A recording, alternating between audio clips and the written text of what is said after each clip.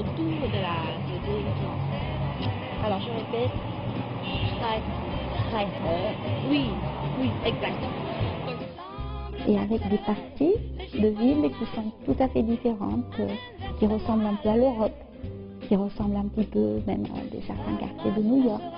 Par rapport à Pékin, c'est très différent, je trouve.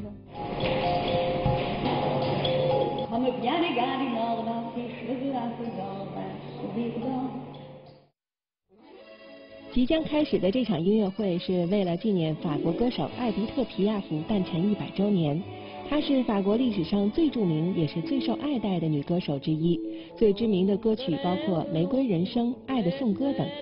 这位身高仅有一点四七米的姑娘曾登上过纽约卡耐基音乐厅，是一代相送女王，是法国传统歌曲的化身。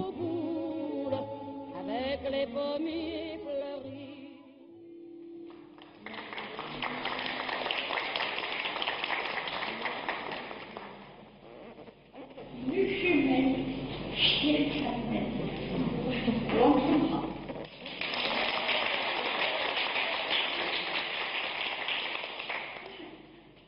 je vais vous parler des Éliphia, bien sûr. Mais pas la grande Éliphia, celle que tout le monde connaît, Moi, je vais vous parler d'Élie Gassi.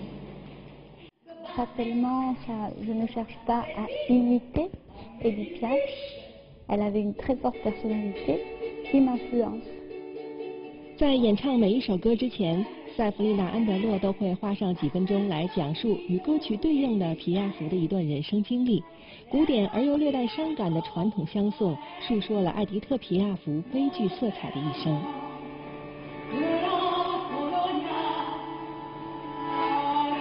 被誉为法国小云雀的皮亚福，一九一五年生于巴黎的一个贫困家庭，从小就接触社会最底层的人群。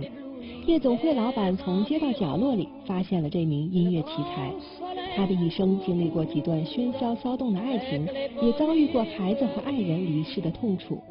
在与命运的抗争中，浪漫与悲情交织在他短短四十七年的人生之旅。二零零七年上映并获得第八十届奥斯卡最佳女主角和最佳化妆奖的电影《玫瑰人生》，就反映了她坎坷而璀璨的一生。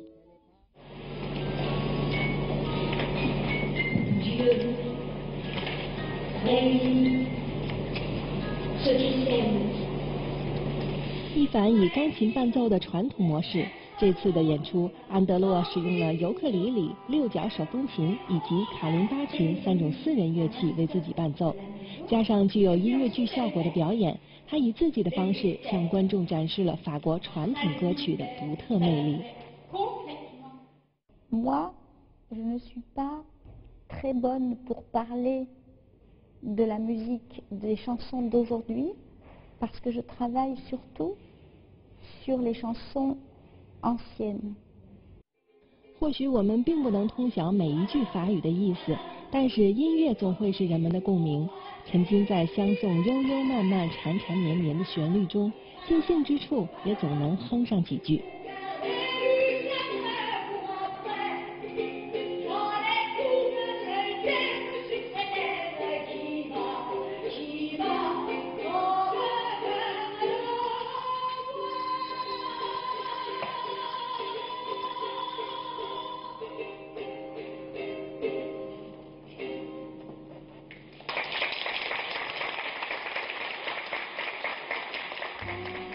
或许有很多人并不熟知埃迪特·皮亚福，但是说到由他填写的歌曲《玫瑰人生》，即使不懂法语，或许你也能哼上几句。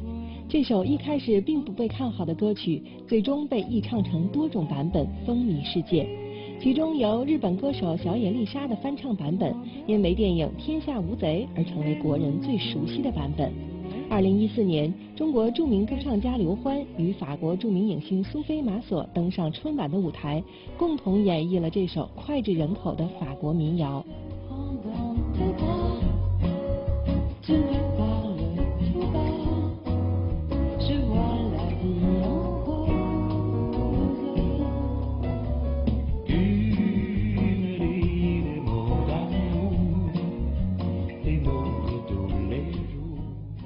Moi, pour moi, c'est une chanteuse qui est vivante.